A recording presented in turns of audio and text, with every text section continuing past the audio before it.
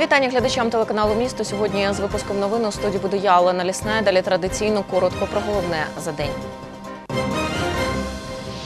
Воєнний стан в Україні. Як він вплине на звичайний уклад суспільства? Де чекають наших? В Україні зросла кількість трудових мігрантів. 26 листопада відзначають Міжнародний день чоботарів. Обстріляли та взяли в полон 25 листопада. Російські військові здійснили збройний напад на українські судна в Азовському морі. 23 українці у полоні. Це екіпаж українських суден, військових катерів Бердянськ, Нікополь та буксир Яни Капу. РНБО запропонувала запровадити воєнний стан. 26 листопада депутати Верховної Ради зібралися на позачергове засідання. Деталі знає Анна Ружін. 25 листопада. На цих кадрах кораблі військово-морського флоту Російської Федерації блокують українське судно, зупиняють тараном. Окупанти розцінили це як перетин кордону. Три українські судна направлялися з Одеси до Маріуполя. Їхні попередження про перетин Керченської протоки російські прикордонники начебто не отримали. У небі вертольоти та штурмовики. У ході таких дій шість поранених. Омбудсмен Людмила Денісова написала офіційний запит до голови ради при президентові Російської Федерації з розвитку громадянського суспільства та прав людини Михайла Федотова. Захоплення прикордонними кораблями ФСБ Російської Федерації українських військових катерів Бердянськ, Нікополь та буксир Яникапу є грубим порушенням статей 17, 32, 38 Конвенції ООН з морського права та статті 2 договору між Україною та Російською Федерацією про співробітництво у використанні Азовського моря і Керченської протоки від 24.12.03 щодо права мирного проходу, що призвело до отримання поранень і захоплення у полон 23 членів їх екіпажів. Опівночі 26 листопада зібрали екстрене засідання Ради національної безпеки та оборони. Обговорили і можливий варіант введення воєнного стану строком на 60 днів. Згідно зі статтею 8 закону України про правовий режим воєнного стану, під час введення воєнного стану можуть запроваджуватись наступні заходи: заборона проведення страйків, масових зібрань та акцій, трудова повинність для працездатних осіб із метою виконання робіт, що мають оборонний характер. Використання потужностей та трудових ресурсів підприємств, установ та організацій усіх форм власності для потреб оборони, комендантська година, особливий режим в'їзду та виїзду, перевірка документів громадян, огляд речей, транспортних засобів, багажу, контроль за діяльністю ЗМІ, установ і організацій культури. Квартирна повинність фізичних і юридичних осіб для розквартирування військовослужбовців. У зв'язку з нападом російських військових на кораблі військово-морських сил України районі Керченської застоки, е, військові частини Національної гвардії України проведені у повну бойову готовність та переведені на посилений варіант організована взаємодія Державної прикордонної служби Національної поліції щодо забезпечення правопорядку.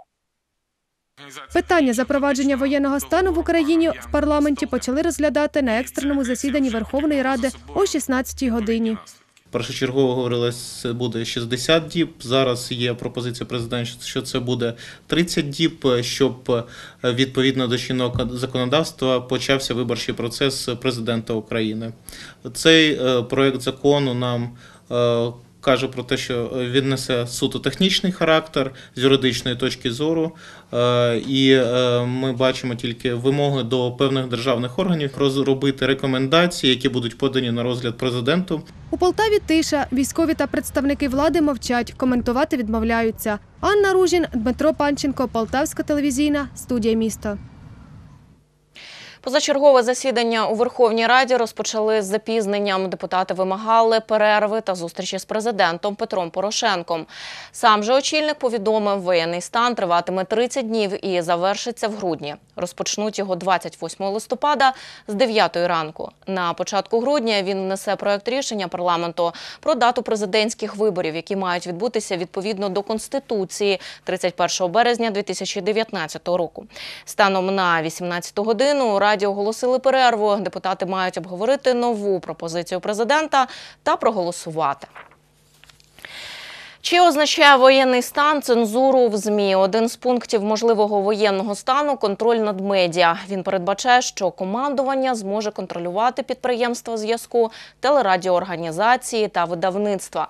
Мета проведення роз'яснювальної роботи серед військових і цивільного населення. У разі порушення вимог режиму воєнного стану в громадян чи організацій можуть вилучити теле та радіообладнання, відео та аудіоапаратуру, комп'ютери або будь-які інші засоби зв'язку. Як запевняє голова Національної спілки журналістів України Сергій Томіленко, це стане великим важелем впливу на засоби масової інформації.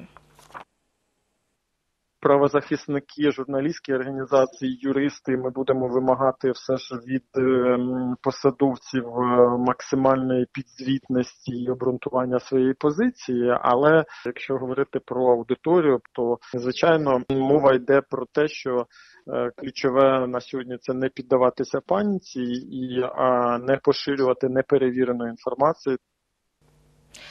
Представники Національної спілки журналістів застерігають, що у період інформаційної війни довіряти слід лише перевіреним виданням, не варто вірити дописам у соціальних мережах та порівняно новим виданням.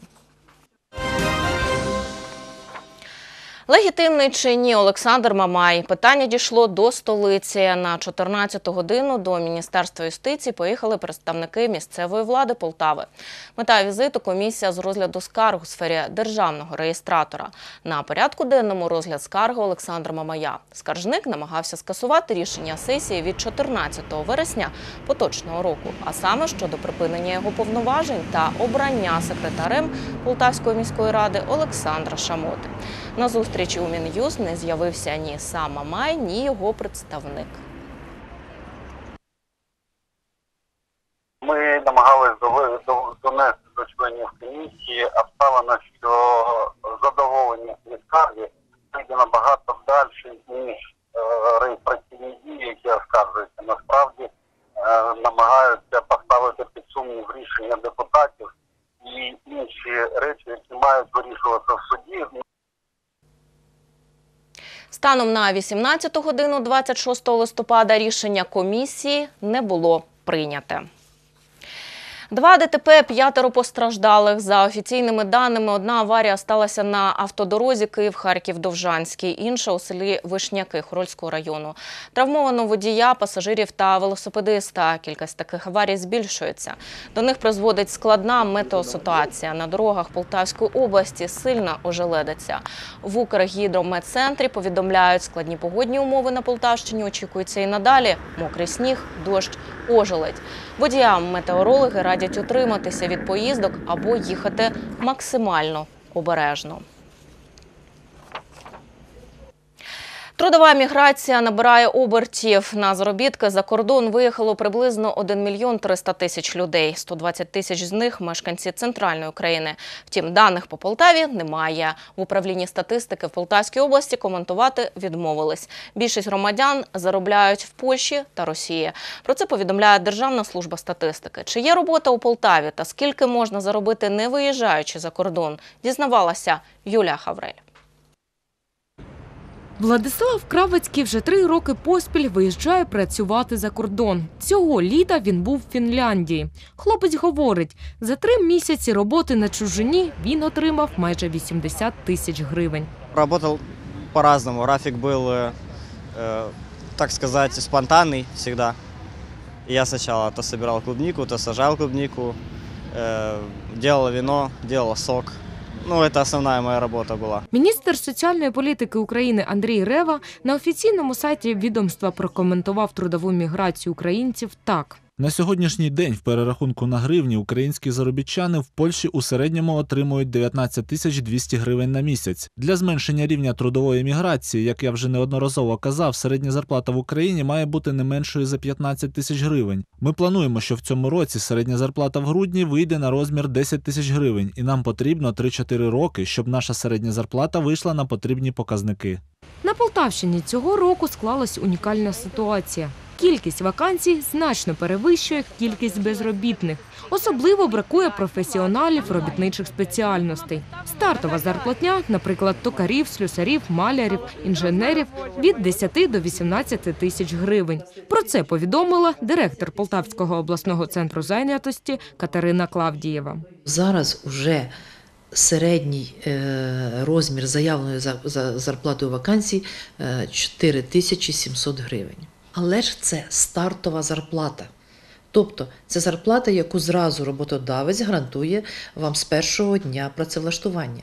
А потім починається різні напрацювання за вислугу років, премії, одноразові премії і так далі.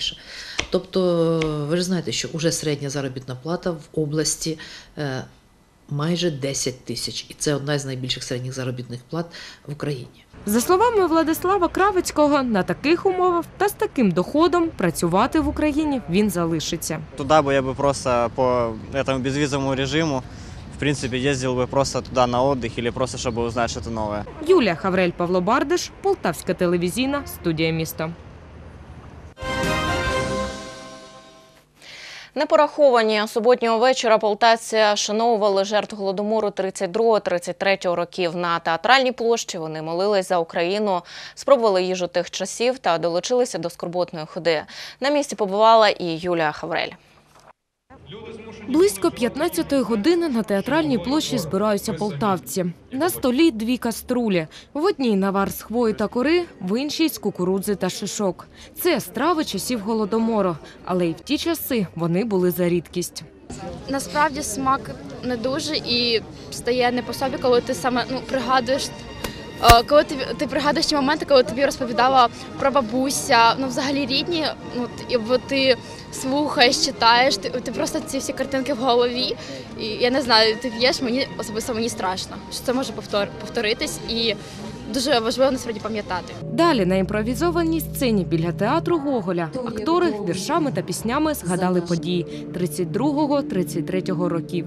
На вікні свіча повівала мати дитинча, сповивала пісні, гомоніла. Після цього люди рушили скорботною хресною ходою вздовж вулиці Соборності до Свято-Успенського кафедрального собору. Попереду духовенство. Ми маємо захищати не тільки свою територію, а передусім свою душу. Тобто ми маємо захищати свою мову, культуру, духовність, помісну церкву. І тоді ми будемо існувати як народ, як держава, і ми будемо рухатися вперед. У жалобній ході зі свічками близько тисячі полтавців. Серед них і Даніл Горопацький. Голодомор не визнається багатьма країнами як геноцид українського народу, і я вирішив підтримати цю ходу е, у знак того, що я вважаю геноцид, ну е, голодомор геноцидом. Завершились урочистості панахидою за душі безвинно загиблих від голоду. Юлія Хаврель Павло Бартиш, Полтавська телевізійна студія місто. Загиблих під час голодомору вшанували і в Лубнах. Люди відвідали зажур гору з квітами. На знак пам'яті відкрили і виставку. У місцевій галереї мистецтв показали історичні фото та пам'ятки тих часів. Краєзнавці розповідали про геноцид на Лубенщині зі слів очевидців. Враження в її дитинстві це тиша, страшна чорна тиша. Каже, немає на селі е, давно вже ні курей, ні свиней, ніякого скоту. Е, вийдеш на вулицю ввечері, темно, не гавкне собака, не обізветься кіт, їх усіх уже давно просто поїли.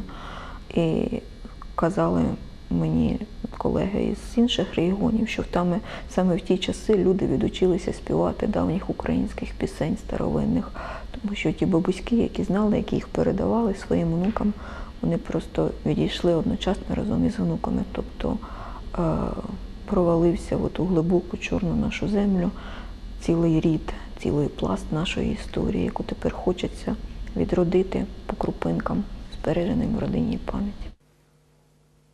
А це село Лютенька Гадяцького району. За кількістю жертв голодомору воно занесено на республіканську так звану чорну дошку.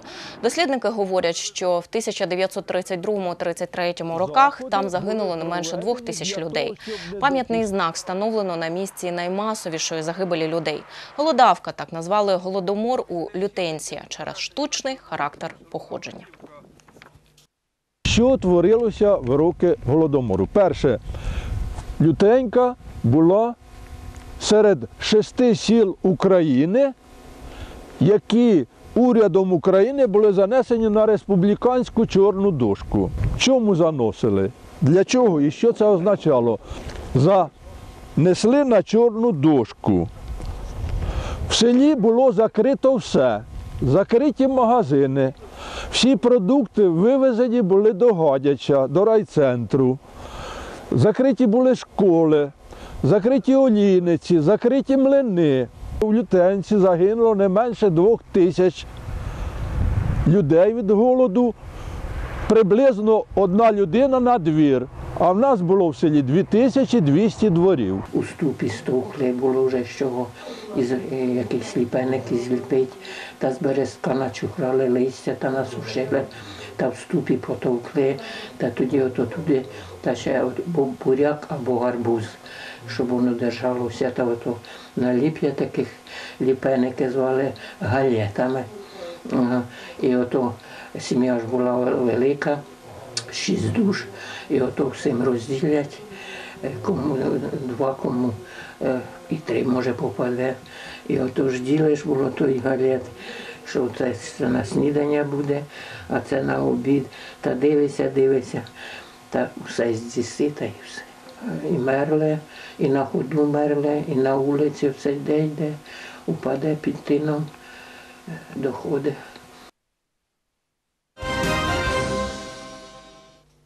Наше взуття в їхніх руках. Вони створюють та ремонтують чоботи та туфлі, босоніжки та черевики. 26 листопада вважається міжнародним днем шевців, або як їх по-іншому називають, чоботарів.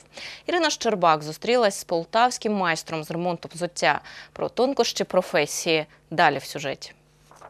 Приходжу на роботу, перевдягаюсь, ну, беру, передивляюсь роботу на день і починаю. Маленьке приміщення на 8,5 квадратних метрів, заставлене чобітками, босоніжками та черевиками. Тут ремонтує взуття Сергій Сандул. Майстер займається цим з 14 років. 14 років, коли мені в руки попав крючок. Я почав шити взуття, ну, підшивати своє, ремонтувати.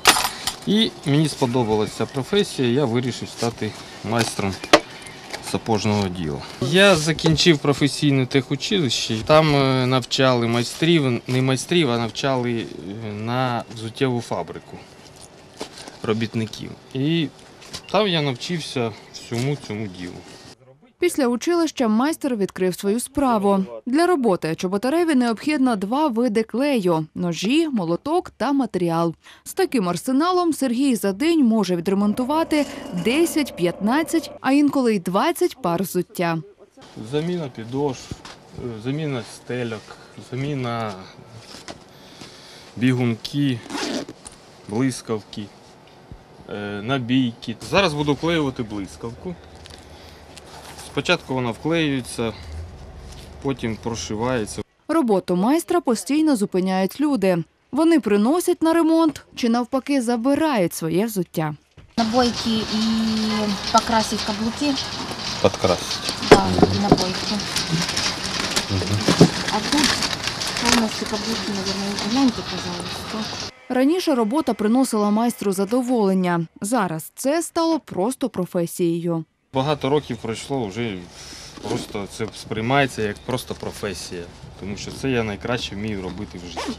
Я людина творча і мені завжди хочеться якісь е, ну, речі робити для душі. Після роботи Сергій Сандул створює вироби зі шкіри, гаманці, ключниці та ремні. Проте змінювати діяльність не збирається. Ірина Щербак, Сергій Глоба, Полтавська телевізійна студія місто. Це ще не всі новини, які для вас підготувала наша творча команда. Попереду рубрика Бізнес актуально та ще безліч цікавої інформації. Не примикайте.